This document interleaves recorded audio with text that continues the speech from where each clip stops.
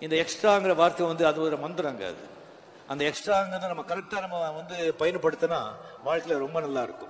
ரொம்ப simple extra பேசக்கூடாது. Extra சாப்பிடக்கூடாது. எக்ஸ்ட்ரா தூங்கக்கூடாது. எக்ஸ்ட்ரா புகழக்கூடாது. எக்ஸ்ட்ரா திட்டக்கூடாது. எக்ஸ்ட்ரா அட்வைஸ் பண்ணக்கூடாது. எல்லாம்.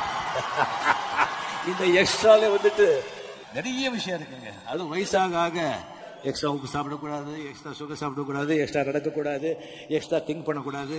இந்த மாதிரி இந்த எக்ஸ்ட்ரா வந்து கரெக்டாக நம்ம யூஸ் பண்ணோம்னு வச்சுங்களேன் வாழ்க்கையில் ரொம்ப ரொம்ப ரொம்ப ரொம்ப சந்தோஷமா நம்ம இருப்போம்.